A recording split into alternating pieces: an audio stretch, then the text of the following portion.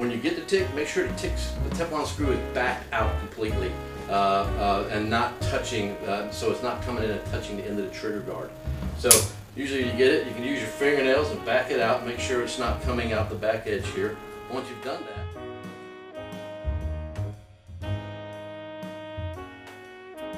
you slide it down the rail, press your button there, and boom, it's on.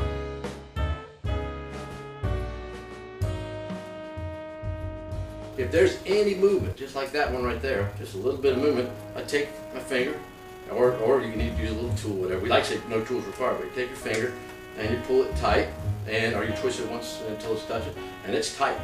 It's locked on. It's not coming off. So it comes off real easy. Press the button, slides on, right over top of the button, boom.